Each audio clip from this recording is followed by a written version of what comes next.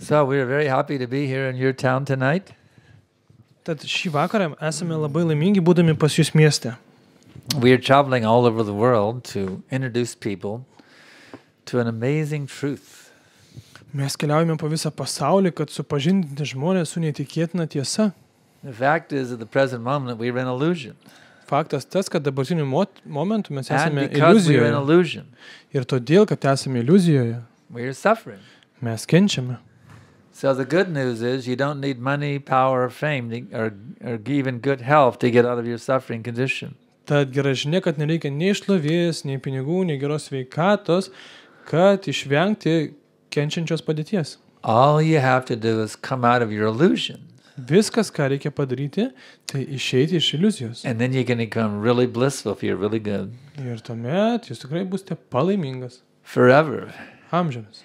And become even transcendental to death. Ir netgi tapsite transcendentalus mirčiai.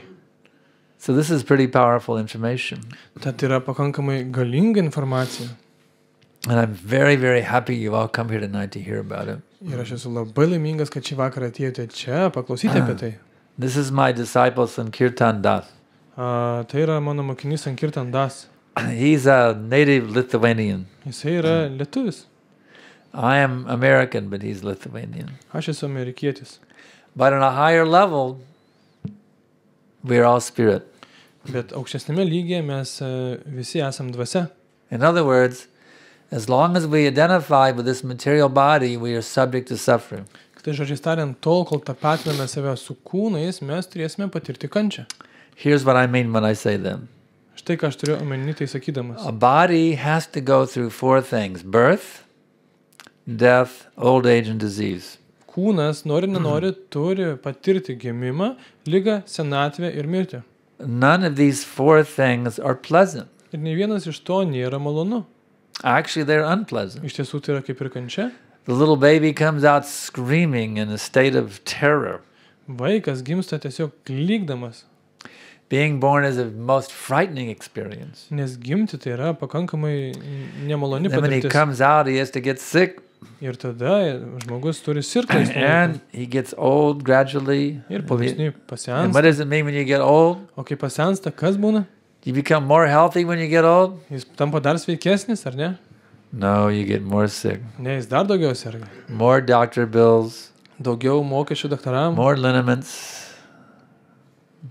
Uh, for pain in the body, a liniment, daugiau nuskausminamųjų reikia, more aspirin, more Excedrin, whatever. ir daugiau aspirino gerti reikia, Medicine, more medicine. daugiau vaistų. And then you have to die. Ir tada reikia numirti. So these things aren't fun. Nobody says, I'd like to die today. Tad e, juk tai nėra smagu, niekas nesakytų, kad nori I šiandien. think I'd numirti. like to get sick today. Arba šiandien susirgti, Or I'd like to get old today. arba pasen šiandien.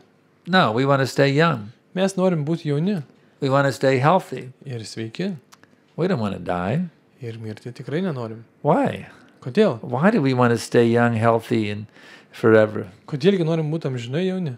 Do you have any reason why we? You, does anybody know why we want to stay young and healthy forever? Ir kas nors žino, kodėl mes norime būti amžinai jauni ir sveiki?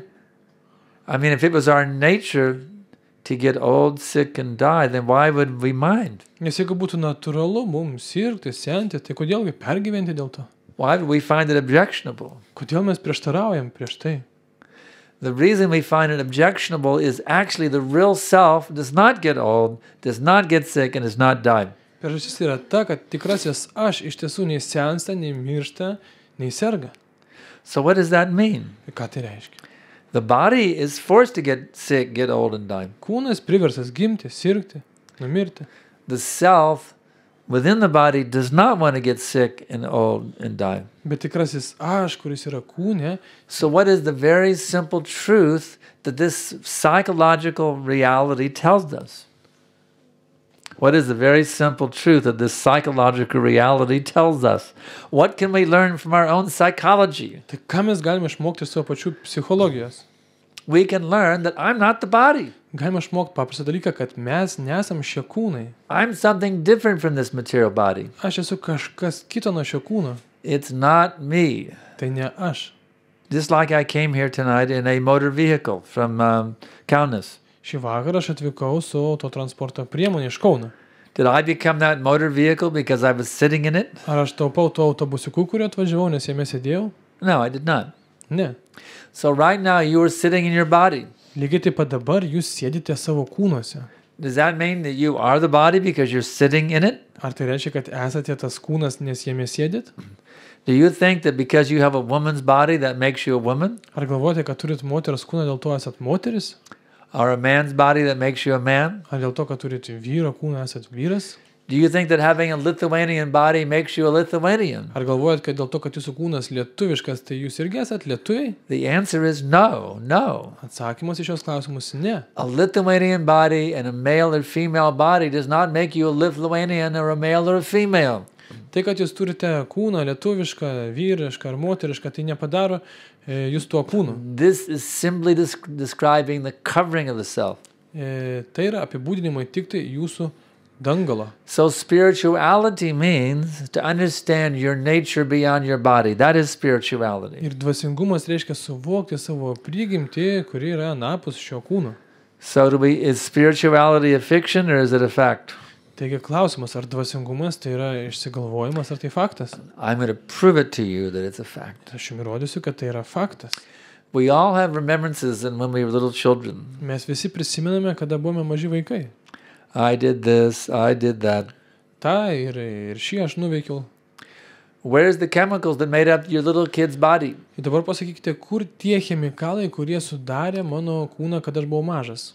Are those chemicals here tonight in this room? Ar šitam kambarį tie chemikalai vis dar yra? Or are those chemicals long gone? Ar tie visi chemikalai seniai kažkur dingo? Those chemicals are long gone. Jie seniai dingo. You don't have those chemicals anymore that made up your little kid's body. Jūsų kūną jau sudaro kiti cheminiai elementai, negu sudarė jūsų So how do you remember those experiences? You don't have the same body now you had then.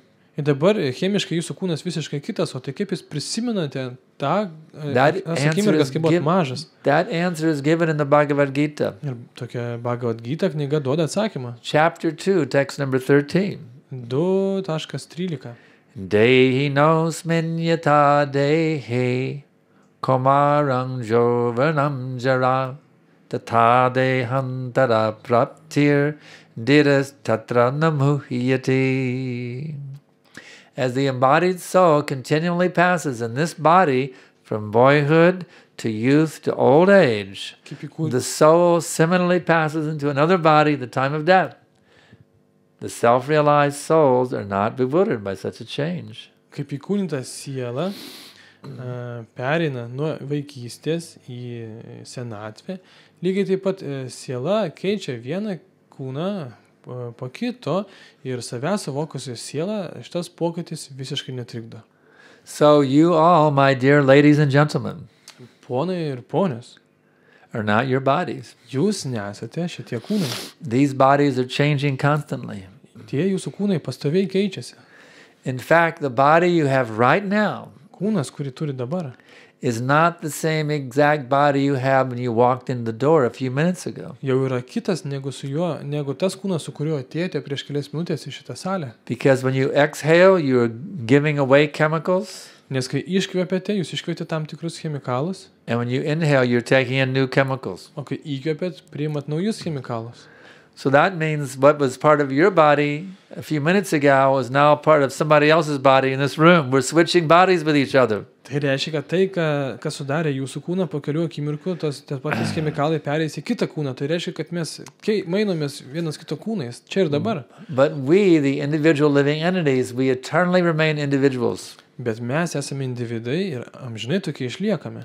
That is the spirit self. Ir tai yra, tai būtent yra dvasinis. Aš. Therefore, spirituality is a fact. Todėl dvasingumas tai yra And faktas. Tai yra realybė. spirituality is the most important thing that you can develop in this lifetime. ir tai yra pats svarbiausias dalykas, kurį jūs galite šiame gyvenime vystyti. Somebody may learn how to knit. To knit, like knitting, you know, clothes, knitting a sweater. They take some thread and yarn with a, and they knit a sweater. Gali kas nors išmokti siuvinėjimo meno. Somebody learn how, may how to play the guitar, Kažkas gali išmokti groti gitarą. how to make an oil painting. Arba kaip tapyti paveikslus. That's okay. viskas gerai. But the most important thing is you have to learn how to become spiritual. Bet svarbiausias dalykas, jūs turite išmokti, kaip tapti dvasingu. You have to realize your spiritual nature. Turite suvokti savo dvasinę prigimtį. You can do this in any religion, as a Christian, a Jew, a Hindu, a, a Muslim. It doesn't matter what the religion is. Ir tą galima atlikti žmogui esant bet kurioje religijoje, visiškai nesvarbu kurioje. Or you may not belong to any religion. Ar gali nepriklausyti jokiai religijai. Whether you belong to religion or you don't, you need to become spiritual. Nepaisant to, kokiai religijai jūs priklausot ar nepriklausot, jums bet kuriuo You atveju reikia need to tapti awaken your consciousness. You need to awaken your consciousness of your spiritual identity Jums reikia pažadinti savo dvasinę sąmonę. because this will liberate you from the anxieties of a body that's getting sick and old and dying. Nes tai išvaduos jūs nuo sunkumų, kuriuos sukelia kūnas. The good news is you're eternally youthful. Gera naujiena ta, kad jūs esat amžinai jauni. Your body is aging, Kūnas jūsų sensta. it's moving closer to death with every click of that, every tick of the second hand on the clock. Kiekvieną sekundę jis- jūsų kūnas artėja prie mirties. But that second hand is not affecting you. Bet tas, se- tas senėjimas kūno visiškai You are jūsų not getting neveikia. closer to death Jūs nertėjat prie mirties, because you are deathless. nes jūs esat nemirtingi. Death cannot touch you. Mirtis negali jūsų pasiekti. You have a bulletproof soul. Jūs esate amžina siela It can never be killed. ir niekas negali jūsų nužudyti. Krishna says this in the Bhagavad Gita. Baga gytoje Krišna tai patvirtina. Nahanyate hanyamane sharire. Nayang deho, what is it? Na- Jo nityang shashvato yang parano. Nahanyate hanyamane sharire. For the soul there is never birth nor death. Siela niekada nemiršta, negimsta. He is not come into being, he does not come into being, he will not come into being. Jis niekada nebuvo sukurtas ir, ir nebus sukurtas. so the soul is eternally existing. Siela egzistuoja amžinai.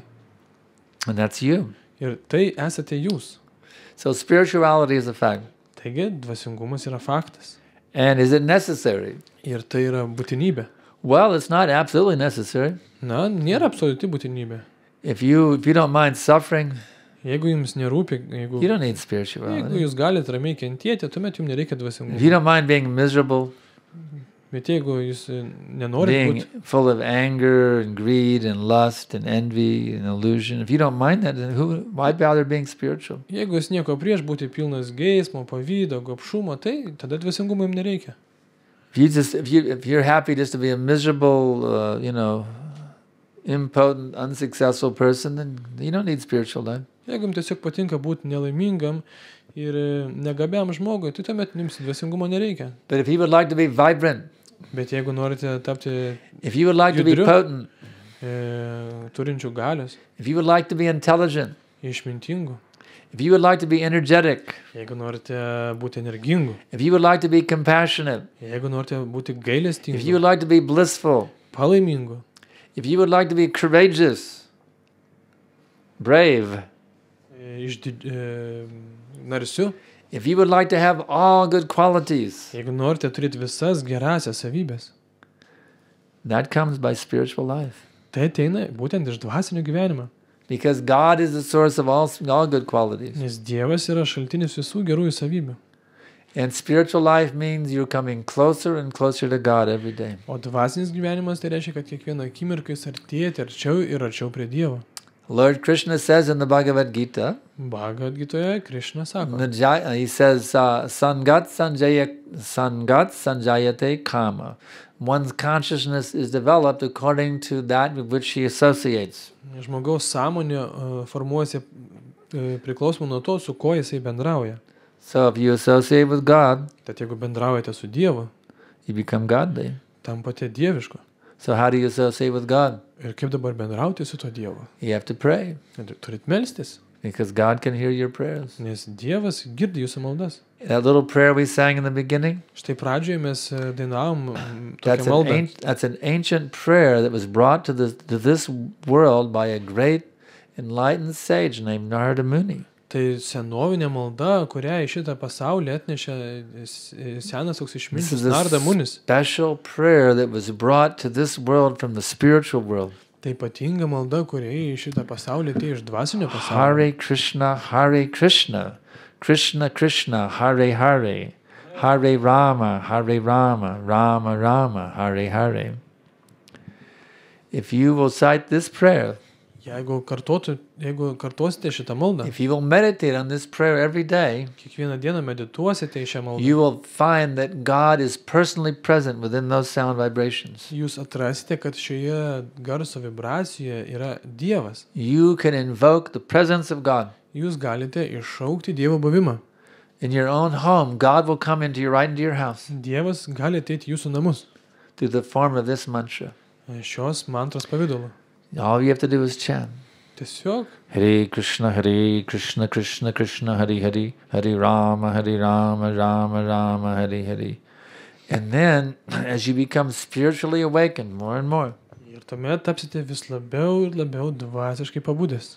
you will directly experience God right there in your own house. Ir savo namuose tiesiogiai pajusite Wherever Dievo you may buvimą. be. Kad ir kur bebūtumėte. You can be in the park underneath a tree. Ar parke po medžiu, You could be in a car or a bus or the, the doctor's autobuse, office. pas daktarą. Anywhere. Kad ir kur bebūtumėte. You can chant the names of God Galite kartu Dievo vardus and you'll feel how God has become present. ir jausti Dievo buvimą.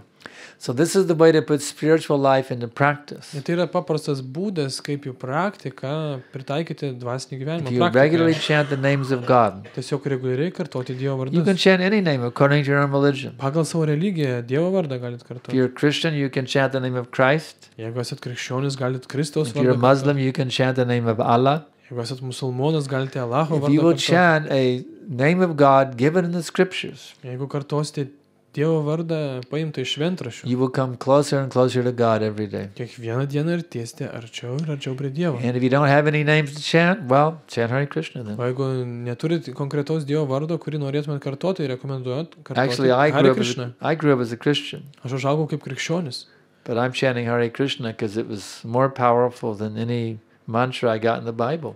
Nes e, aš kartoju Hare Krishna, nes tai buvo e, galingesnė malda, negu aš radau Biblijoje. But any name of God, any, any prayer is very good. Bet, bet kuri malda yra labai gera. Just like in the Christian uh, tradition, we have the Hallelujah chorus, is very nice. Kaip e, krikščionių chore mes turime Aleliuja, Aleliuja chorą. Hallelujah, hallelujah, hallelujah, hallelujah, hallelujah. It's very nice. Labai gražu. So somehow or other call out to the Lord. You see. Vienokiu ar kitokiu būdu šaukitės Dievo. Somehow glorify the name of the Lord. Vienaip ar kitaip šlovinkite Dievo vardą. That will bring you out of the false identification with your material body. Mm, Tai jūs padės iš, jums padės ištrūkti iš tapatinimo su kūnu. That will bring you into what is known as spiritual awakening Tai jūs pažadins į dvasinį pabudimą, or spiritual realization, į dvasinę savęs in realizaciją, which you become absolutely ecstatic. kurioje jūs tapsite pilnai palaimingu. So please take this pathway of, of spiritual life, Todėl prašau, e, užsiimkite dvasinio gyvenimo and you'll keliu be glad you did. ir didžiuostės, kad tai padarėte. Please make a decision right here, right now, tonight, that you're going to dedicate yourself to God. Please do that right now. Prašau, čia ir dabar padarykite sprendimą, kad e, paukosite save Dievui. This will be the most wonderful moment in your whole life, right here tonight in this room. Jeigu čia pat nuspręsite dedikuoti savo gyvenimą Dievui, tai bus pati šlovingiausia akimirka jūsų gyvenime. If you make a commitment right now within your heart, from now on, I'm just going to serve God, and that's my only desire. Jeigu dabar čia nuspręsit, kad nuo dabar mano vienintelis troškimas tarnauti Dievui. So now I can ask if there's any questions. Noriu paklausti, kokių kilo klausimų. Drąsiai, kelkite rankas, kažkokią tai turit klausimą už tą, ką pasakė mokytis.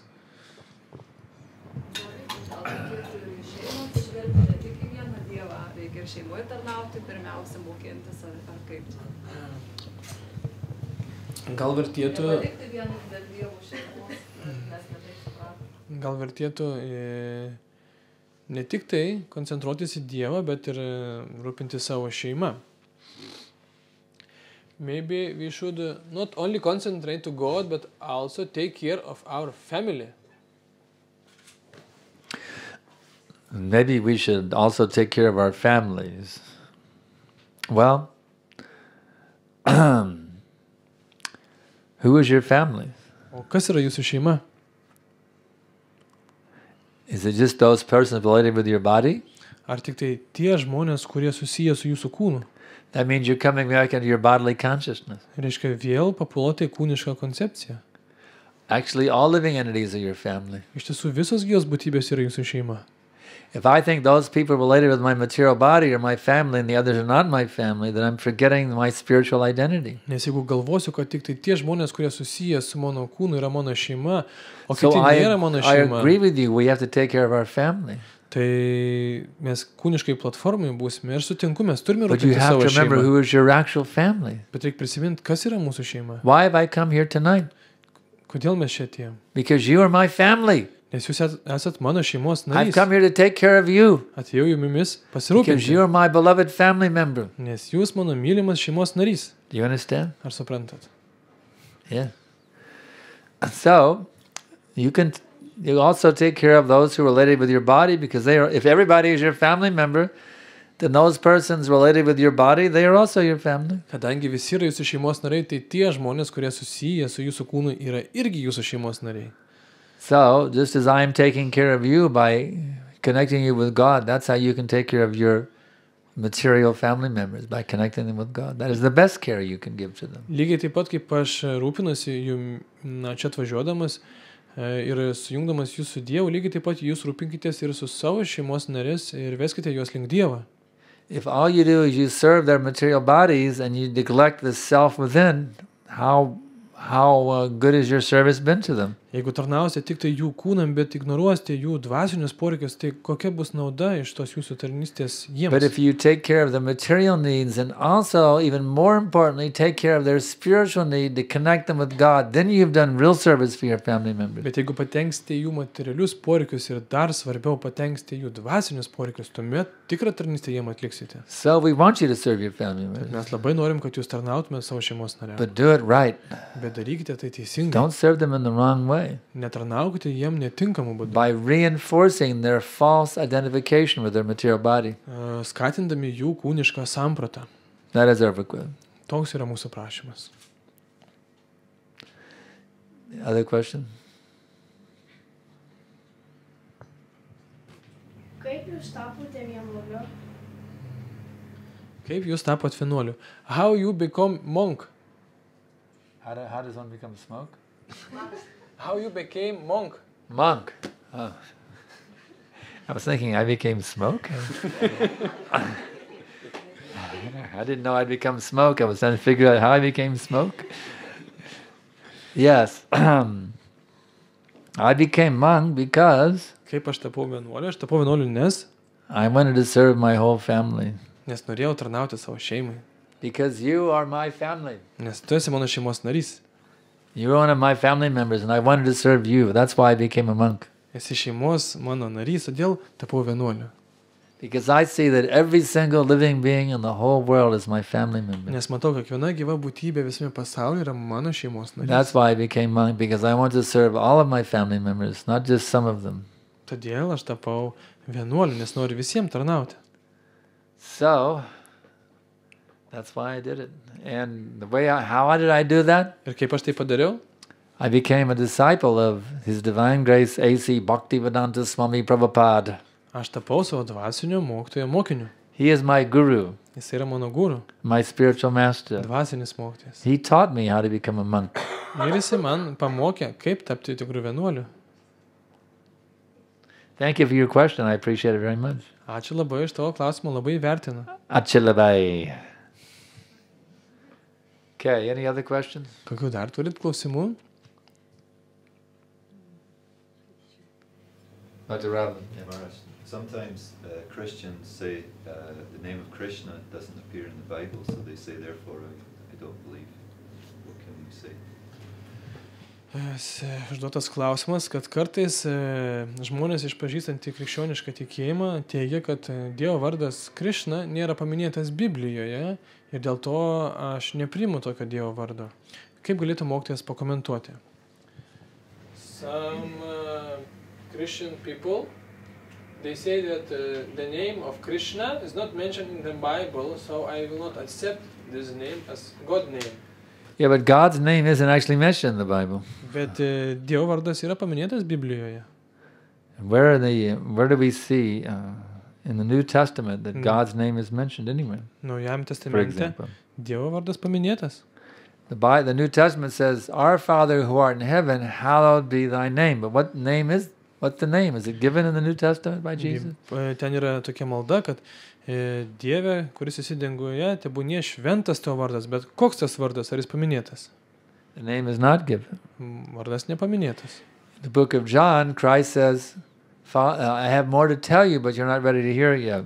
O Jono knygoje Kristus sako, kad aš jums turiu daugiau ką pasakyti, bet jūs dar tam nepasiruošę. For the elementary knowledge that Christ gave them, they nailed him to a cross. Vien tik už tas žinias, kurie Jėzus davė žmonėm, jie jau jį prikalė prie kryžiaus. Just imagine if he had told them to chant Hare Krishna. Įsivaizduokite, ką jie būtų jam padarę, jeigu jis būtų paprašęs jų kartoti Hare Krishna. Even what he did tell them, he nailed him to a cross. And if he said, if he chant, said, everyone should chant Hare Krishna. Vien už tą truputėlį, kurį papasakojo, jau jį prikalė prie kryžiaus. So he told the people on a very elementary level what they could handle. All. Taigi Jėzus mokė pa, pačių pagrindų, e, e, nes žmonės tik tai tie galėjo priimti. They weren't ready to hear the intimate names of God. They were not ready for it. Jie nebuvo pasiruošę išgirsti labai intimių Dievo vardų. Therefore, he gave simply some basic ABC principles. Todėl Jėzus Kristus davė tik tai kaip dvasinė abecėlė, pagrindinius He didn't give principus. D, E, F, G, H, I, K, L, M, N, O, P, Q, R, S, T, U, V, W, X, Y, Z. Ir He didn't ne, give that part of it. nedavė gilesnių, gilesnių žinių, slaptingesnių. He just gave ABC only. Tik tai abecėlė pi- pagrindus. But when Jesus comes again, Bet Jėzus vėl ateina. he'll be a Hare Krishna. Jeigu jis vėl ateis, jisai kartos Hare Krishna.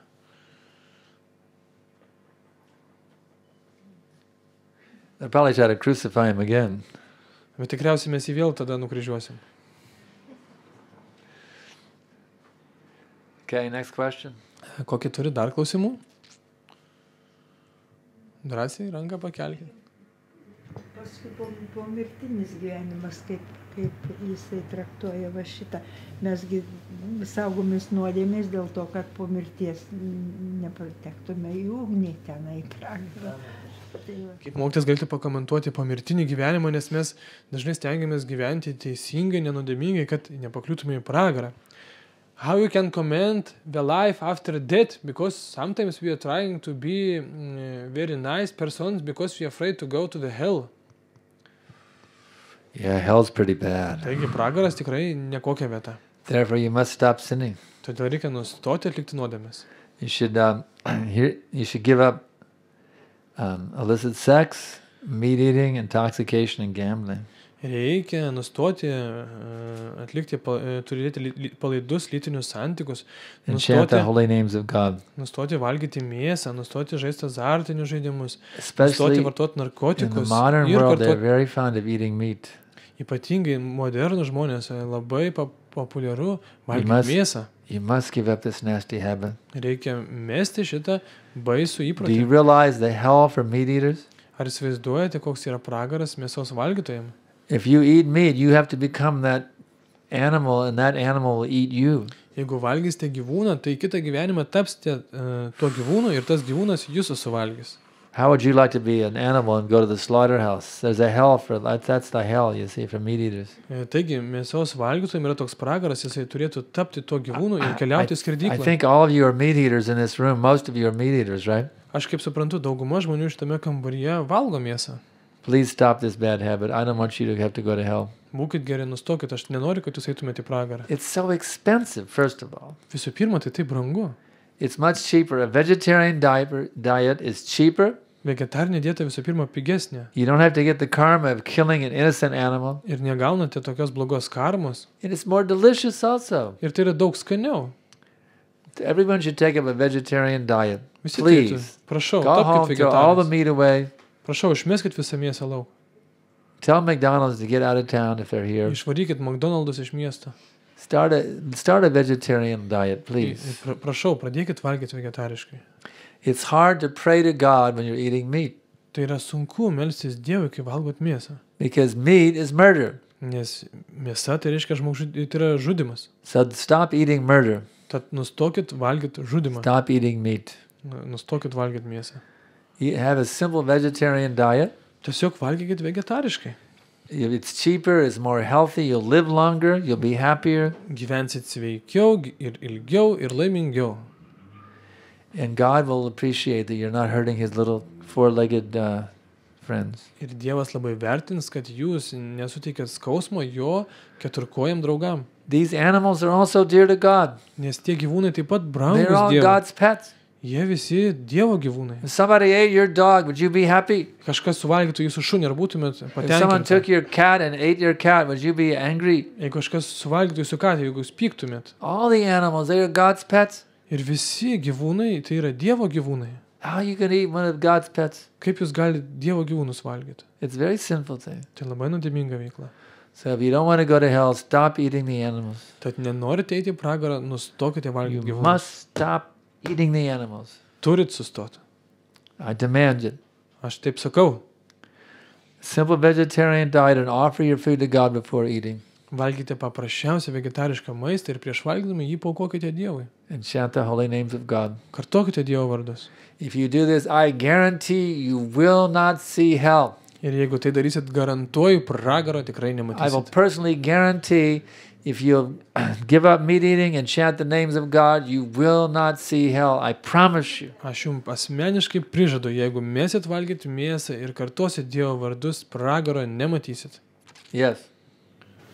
O bet jeigu nevalgai mėsos, o kitas, nu, kitas nuodėmės darai, tai vis tiek pakliūni į pragarą.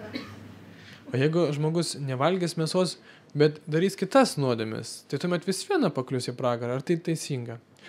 If someone not eating meat, but he is doing uh, other sinful activity, so he s- still go to hell or not? Yeah, any sinful activity is Taip, bet bad. kokia nuodėminga veikla veda į pragarą. But people who are, uh, but meat eating is one of the worst sinful activities. Bet bene pati baisiausia nuodėminga veikla yra mėsos Because valgymas. it's murder. Nes tai yra žudimas. Those animals are being murdered in the slaughterhouse every day. Kiekvieną dieną gyvūnai žudomi Murder skerdyklose. is a very heavy sin. Žudimas yra sunkiai Those nuodėmė. animals are being murdered by the butchers in the slaughterhouse every day. Skerdikai kiekvieną dieną žudo tos gyvūnus skerdyklose. It's one thing. Uh, you you- I mean, it's the, one of the worst things you can do is to is to eat meat. Blogiausias dalykas, ką galite padaryti, tai valgyti mėsą. So give up that sin. The other sins will be easier to give up if you give up that one. Mes šitą nuodėmę, kitas bus daug lengviau mes. Yeah. Tai jeigu sakot, kad kūnas ir dvasia yra kaip ir nesusiję, tai koks skirtumas, kurios nuodėmės daro tas kūnas, mano siela gyvena atskirą gyvenimą. Koks skirtumas, ką valgo mano kūnas, jeigu aš nesu savo kūnas. Jeigu aš e, ir kūnas skiriasi. Ir jeigu vis tiek e, kūnas gimsta, serga, miršta, tai ir tie gyvūnai, jie miršta, tai aš čia baisaus. jeigu aš nesu šitas kūnas, esu siela, tai koks skirtumas, kokią nuodėmingą veiklą atlieka tas kūnas. Ir e, kitas klausimas, kad gyvūnai vis viena bus priversti numirti vienaip ar kitaip. Tai koks skirtumas? Tai yra natūralu. If I am different from my body, uh, so there is, um, so uh, it's not so important what sins my body is doing because I No, am no. soul. If you use your car and run, if you run over somebody with your car on purpose, the car is not guilty, but you're guilty. Jeigu jūs sąmoningai kažkieno automobilį sudaužysite, tai ne automobilis bus kaltas, bet jūs busit kalta. The body is the instrument you're using. You are using your body to eat meat. So the, Kūnas you yra- are the one who is eating. You're guilty. The body is simply an instrument you're using to eat the meat, but you're Kūna- the one who is engaging the body and eating the meat. Kūnas tai yra instrumentas ir jūs naudojate šitą instrumentą tam, kad žudyti kitus, kad valgyti mėsą. Tai vis dėlto kūnas yra svarbus. So, body is very important. Yes, using it correctly is very important. Taip, teisingai naudoti kūną yra labai svarbu. If I take a gun and shoot somebody and they take me to court and say, I didn't kill him, the gun did. Jeigu paimsiu ginklą, kažką nušausiu ir teisme sakysiu, aš nešoviau, ginklas šovė. Will the judge accept? Ar tai teisėjai priims tai? We will give your gun a, a, a life in prison because it killed the person. Mes jūsų ginklą pasodinsime iki You kalėjimo. didn't kill him, the gun did. galvos. Ne, jie pasodins jūs. So you say, Well, I didn't eat the meat, the body did. Galit sakyti, aš nevalgau mėsos, kūnas valgo. But you engage your body in doing it, therefore you're guilty. Bet tu naudoji savo kūną tam, kad valgyti mėsą. Dėl to kalti esi tu. So, kūnas, uh, so body is connected with soul. Just like you were seated in your car and you're driving it. Lygiai taip pat kaip automobilis susijęs su vairuotoju. If you run over somebody, you will be taken to court. Jeigu į kažką įvairuosite, sėsit į teismo kėdę. seated as you are right now seated within the heart of your body as the driver of that body. Šią akimirką jūs sėdit savo kūno širdyje kaip vairuotojas. That's your position. Tokia jūsų padėtis. Another question. Koks jūsų vardas? O koks jūsų vardas? What is your name? You didn't introduce me? He already introduced me. You, he can tell you. Aha. Aš galiu pasakyti, nes aš jau, jau kartą minėjau. Sankaršantas Adikari.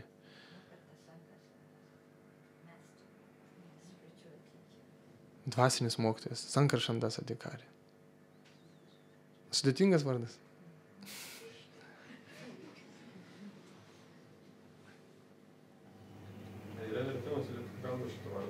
Uh, there is some uh, translation to what what is the meaning of your name? Uh, Sankarshan means uh, Sankarshan reiškia. Another name of. Sankarshan is a name for God, Tai yra and, Dievo vardas. and Das means servant. So servant of God, O das reiškia tarnas, taigi tai reiškia Dievo tarnas. and Adhikari means one who is empowered. O Adika reiškia tas, kuris yra įgalintas. So Sankarshan Das Adhikari means a servant of God who is empowered for spreading Krishna consciousness all over the world. Taigi Sankarshantas Adika reiškia Dievo tarnas, kuris e, įgalintas skleisti Dievo šlovę pasaulyje.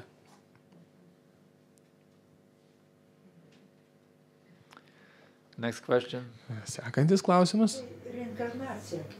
Kaip, kaip galėtų paaiškinti mums, jeigu pri, Kaip mokytas galėtų paaiškinti mums apie Na, reinkarnaciją? taip, jeigu vis tiek tai jeigu keulė pavirsiu, jeigu keulė nevalgau ten ir ir taip toliau. Kaip tas pragaras, koks jis yra iš tikrųjų. Jeigu aš, man pragaras, kad aš jeigu už savo nuodėmę turėsiu pavirsti kažkokiu gyvuliu ar ten kuo. Pa- patikslinti, ar būtent toksai yra pragaras, ar egzistuoja A, kažkoks? Taip, vat koks, kokį tą pragarą, sakykime, į krikščionių tikėjimą, tai yra į tamsą. Mhm. Tamsoje Supratau. būsi, skaistinsiesi, kol tu šviesai. Ar galėtų mokytis plačiau pakomentuoti apie pragarą? Ar pragaras tai reiškia tapti kažkokiu tai gyvūnu, ar e, egzistuoja toksai pragaras, kur e, krikščioniškoje koncepcija, kur yra kažkokia tai ugnis, tamsa? Can you more explain about hell? Uh, hell it means to become uh, some animal, or there is some hell like in Christian religion that there is some fire. Yeah, there's fire there. Taip, yra ir toks pragaras, kur yra ugnis. It's described in detail in the fifth canto of the Srimad Bhagavatam. Bhagavatam tokiam detaliai tai aprašyta. There's many, many different places in hell Yra labai daug skirtingų pragaro vietų. for different types of sinful people. Įvairaus tipo. It's very, it's, it's horrible to describe all the details. Yra būtų per daug baisu apibūdinti visas detalės. There's one part of hell called Krimi Bhojana. Pavyzdžiui, yra toks pragaras vadinamas krimi badžana. Krimi means worms, E, Tai reiškia, krimi reiškia kirminai, and Bhojana means eating. o bodžana reiškia valgyti. So it's a huge lake of cannibalistic worms, Ir tai yra didžiulis, didžiulis ežeras kan, ka, kanibališkų kirminų. And they're eating each other. Ir jie valgo vienas kitą. So for a certain type of sin, you have to become a worm in Krimi Bhojana. Ir už tam tikras nuodėmės jūs galite gimti kirminų tame pragare. You have to live as a worm in a lake full of worms that are all eating each other. Jūs turite gyventi tarp kitų kirminų ir vienas kitą valgyti. It's horrible. Ir tai yra baisu.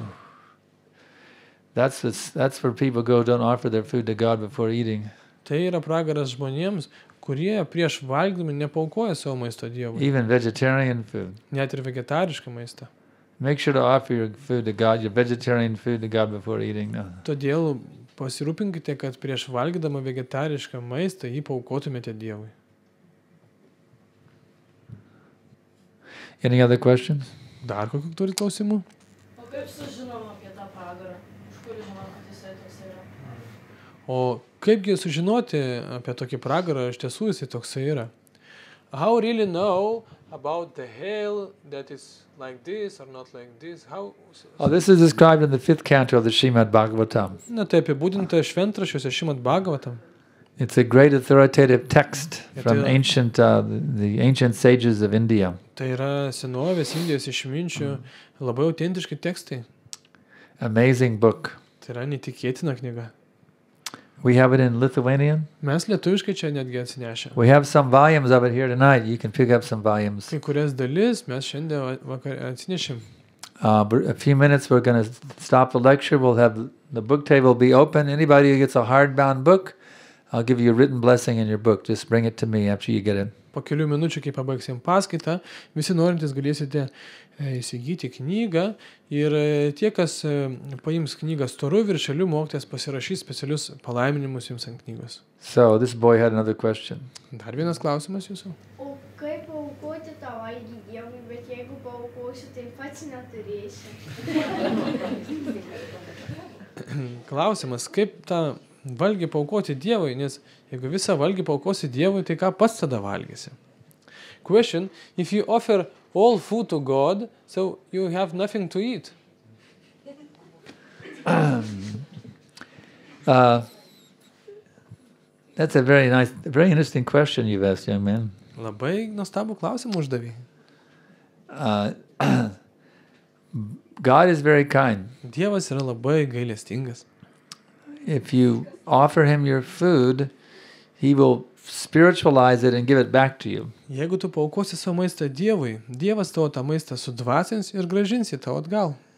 I offer the food to anybody else, they'll take it and they won't give anything back. Bet jeigu paukosi savo maistą kam nors kitam, tai jie jį pasiims ir tau nebegražins. But God is different than everybody else. Dievas skiriasi nuo kitų. When you offer the food to God, he will take that food, he will turn it into pure spirit, and he'll give it back to you. It's spiritual energy. Kai jau paukosi Dievui maistą, Dievas priims tą maistą, sudvasins ir tau sugražins. Bet jūs dar nepasakėt, kaip tą, tą, tą valgį paukoti. But how to offer this food to God? Yes, you s- take your vegetarian food, Uh, pagamink vegetarišką maistą and you can take a picture of God, just like we we have a we can take one of our books. There's a picture of God. We have a book, Bhagavad Gita. No, we have any books with Krishna's picture on them? Yes.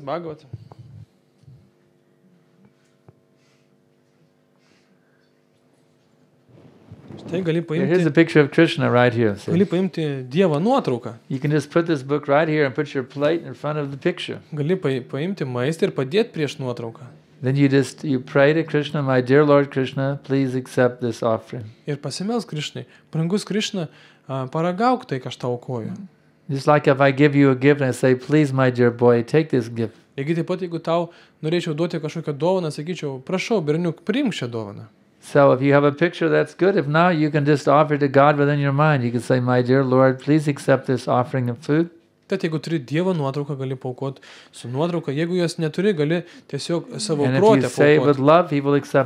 Ir jeigu su meilė pasakysi viešpatė, būk geras, can eat priimk that šį food maistą. and you'll become a great, a great saint. Tai Dievas priims tą maistą. Ir jeigu tu valgysi tokį pašventintą tapsi pačiu didžiausiu istorijos šventuoju. There was a little boy, his name was, I didn't know his name at that time, but it was a little boy, just an ordinary little boy living uh, in a little hut. Buvo toks kartą labai seniai mažas berniukas, kur gyveno lušneliai. And there was some great saintly persons uh, living in the forest nearby. O šalia miške gyveno išminčiai. and they would offer their food to God before eating. Ir prieš valgydami jie visą laiką aukodavo savo maistą Dievui. So he would sometimes eat some of that special food that had been offered to God. Ir kartais tas berniukas irgi paragaudavo to stebuklingo maisto, buvo by eating that food, he became a great, like one of the greatest saints in history. Ir tiesiog valgydamas tą maistą jis tapo vienu didžiausiu šventuoju visoje istorijoje. So we recommend that you should offer your food to God and eat that food. Todėl labai rekomenduojam, kad aukotum savo Jo. maistą Dievui. You'll become one of the greatest saints in the history of the world if you do that. Ir jeigu tai darysi, tapsi pačiu didžiausiu istorijoje šventuoju. Would you like to be a great saint? Ar norėtum būti didžiu šventuoju? Yes. Ah, very good. Labai gerai.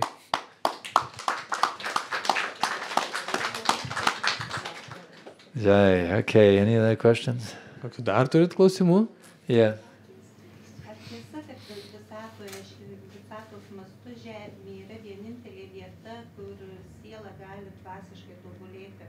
nu? Ar yra tiesa, kad tik tai e, visoje visatoje, tik tai turint žmogaus kūną žemėje, e, siela gali dvasiškai tobulėti? Is it true that in all universe, only in our planet and only in human body, some soul can make spiritual progress? No. Ne. On any spirit, on any planet, one can make spiritual progress. Bet kokioje planetoje galima dvasiškai tobulėti? There are actually human beings all over the universe. Iš tiesų visatoje yra daug žmonių visur, But the Earth planet is the very best place for making spiritual progress. bet dvasiniam tobulėjimui Žemė geriausia vieta. There are heavenly planets also within this universe. Šitoje visatoje taip pat yra ir rojinės planetos. And the pleasure there is so great that people aren't interested in God Ir so yra much. tokie dideli materialūs malonumai, kad žmonėm neberūpi Dievas. And there are also the hellish planets in lower part of the universe. Ir taip pat yra ir žemesnės planetos, pragariškos planetos, suffering is so horrible. People don't have time to even think about God there. kur kančia tokia baisi, kad žmonės net neturi laiko susigalvoti, pagalvoti apie Dievą. Their minds are too disturbed from all of the hell going on around them. Nes aplinkui vyksta toks pragaras, kad jų protas per daug sutrikęs. So this planet is the best place. Taigi ši planeta geriausia vieta. Take advantage of your human birth to become God conscious. Pasinaudokite šitą galimybę, kad turite e, tokį žmogaus kūną. That's a wise investment of Tai your human labai life. išmintinga investicija. Give this one life completely in the service of God. Tiesiog paukokit vieną gyvenimą Dievui. In this one life, you can achieve the supreme perfection of going back to home, back to Godhead. Ir per šį gyvenimą pasieksite aukščiausią tobulumą, grįšite atgal pas Dievą. Hare Krishna. Anything else? Ar dar turit klausimų? Yeah. O, Bet jeigu tas Dievas yra vienas, o tai reiškia, kad ir tas vienuolių mokytojas vienas, ar ne? Jeigu Dievas yra vienas, tai ar tie vienuolių mokytojai, ar mokytojas yra irgi tik vienas, ar jų daugiau pasaulyje? Jeigu yra tik tai vienas Dievas, tai ar yra e, daug mokytojų, ar irgi tik vienas mokytojas? If God is one, so what about spiritual masters? It is only one spiritual master or many spiritual masters in the world? He's very intelligent questions he's asking. Tad duodė labai išmintingus klausimus. Actually, Prabhupada said the spiritual master is one Iš tiesų, Šilaparapada mus mokė, kad dvasinis because the mokymas teaching is one, yra vienas, nes tik vienas mokymas tai but the persons may be many. Bet asmenybių gali būti daug. So there's only one teaching, Taigi tai yra vienas mokymas. but there can be many persons giving that same teaching. Bet gali būti labai daug asmenų, kurie to pačio mokymo moko. Any person who is given giving the genuine teaching, he is the bona fide spiritual master. Kiekvienas žmogus, kuris moko tikro mokymo, jis yra tikras dvasinis mokytojas. So the teaching is one. Taigi mokslas yra vienas. The spiritual masters they cannot give different teachings. Dvasiniai mokytojai negali e, skirtingų dalykų mokinti. The bona fide spiritual master they all give the same exact teaching. You must surrender to God. Tikras dvasinis mokytojas moko tų pačių dalykų, kad tu turėsi duoti Dievui. Anyone who says anything different, they are not a bona fide spiritual master. Ir kažkas, kas sako kažką kitą, jisai nėra dvasinis They mokytojas. are a cheater and a rascal. Yra niekšas sukčius. The bona fide spiritual master says you should surrender yourself to God. O tikras dvasinis mokytojas mokins tave, kad tu turi atsiduoti Dievui. Anyone who teaches you the art of how to surrender to God, he is the bona fide spiritual master. Bet kas, kas mokina šito atsiduoti Dievui meno, yra tikras dvasinis mokytojas. Any other questions? Dar kokių turit klausimų? Okay, so any question? All right. A, Šventykloje paskaituose mokytojas minėjo labai e, svarbų momentą ir aš norėčiau, kad jisai papasakotų dabar, a, nes pasaulyje yra daug žmonių, kurie meldžiasi Dievui, bet e, e, dauguma žmonių jie prašo kažkokių materialių dalykų. Ar tokia malda mus gali apvalyti ir suteikti mums tikros naudos. Can you explain more about prayer you said that we should pray, but uh, also before uh, he was telling that uh, many people in the world is praying, but they're praying for material things. So such prayers for material things can it give some benefit for our spiritual progress or no? So, how should we pray? Tai klausimas, kaip mes turėtume melstis? If we pray for material things, we'll get those material things. Jeigu prašyšim, prašysime Dievo If our dalykų, karma allows us to get them. mes juos gausim, jeigu tai priklausys mums pagal karmą. So the prayer to pray for material things is not very important. Taigi, prašyti Dievo materialių dalykų visiškai nėra svarbu. Why are you bothering God for material things? Kodėl Dievą varginti dėl materialių dalykų? How many little children have to ask their parents, "My dear mother and father, will you feed me today?" Ar mažas vaikas turi prašyti savo tėvų, e, tėti ir mama, ar mane pamaitinsit šiandien? So why do I have to ask God if He'll give me what I need for my material life? Lygiai taip pat, kodėl mes turim prašyti Dievo, ar duosi man tai, ko man reikia mano That materialiame means I don't gyvenime. trust Him. Tai reiškia, aš juo nepasitikiu. so the the intelligent thing to do is to pray to God, "How can I serve you?" Išmintinga būtų melstis Dievui, prašant, būk geras atskleisk, kaip galiu tau patarnauti. That is the prayer which gives you the greatest benefit. Tokia malda duos jums didžiąją naudą. If you'll pray to be engaged in the service of God, Jeigu prašysite, kad Dievas užimtų tarnystę jam, then He'll be very, very pleased with you and He'll give you unlimited blessings. tuomet viešpas bus labai patenkintas jumim ir duos If neribotus we keep kiekius bothering palaiminimų. God, well, God, you know, I have a toothache and I need to, I need a new guitar, and uh, by the way, uh, my shoes are getting kind of worn out, and uh, uh, I need a, a new girlfriend, and by the way, you know, I could use a new car, and I mean that that's very disturbing to God. Those kind of prayers. Bet jeigu melsties Dievo, o Dieve, man skauda dantį ir gitaros norėčiau naujos, ir automobilio, ir merginos, tai Dievo labai mm, trikdo. Why is that disturbing to God? Kodėl tai trikdo Dievą? Because you're not praying to serve Him. Nes jūs neprašot, kad jam patarnauti. You're praying to God and ask God, God to serve you. Nes jūs prašot, kad Dievas tarnautų jum. That's not how we're supposed to be spiritual. Bet tai nėra dvasiška. Spiritual means you serve God, not that you ask God to serve you. Dvasiška reiškia, jūs bando tarnauti Dievo, neprašo Dievo, kad tarnautų jum. If you just give yourself totally to serve God, He'll take care of everything you need. You don't have to worry about it. Jeigu visą save atiduosi tarnystėje Dievui, tuomet Dievas pilnai jumim pasirūpins. Jums nereikės rūpinti savo materialiais poreikiais. Just like I've given my life completely in the service of God, and all my material needs are taken care of with no difficulty. Lygiai taip pat, kaip aš atiduodu visą savo gyvenimą Dievui, visus mano materialus poreikius Dievas pasirūpina. Okay, is that it? Taigi, tai tiek. One last question. Paskutinis klausimas. That's it.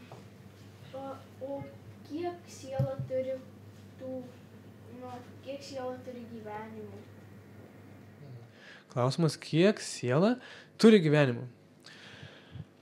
How many soul has uh, lives? there's an infinite number, there's an unlimited number of souls that have life. No, not uh, one soul, but how much this soul has lives? How many lives does each soul have? Yes. Every soul has an unlimited number of lives Viena siela turi neribotą kiekį gyvenimo in this material world. šitame materialiame pasaulyje. But this is like a dream state. Bet tai yra kaip e, sapno buvis. You have to wake up from the dream and go back to your one eternal life in the kingdom of God. Galų galėtų turi pabusti iš to sapno ir grįžti į savo amžiną gyvenimą pas Dievą. Does that answer everybody else? Ar tai atsako į tavo klausimą? Okay. So come here, young man. I wanted to give you something. Ateik truputėlį, tau kažką nori mokytis padovanot.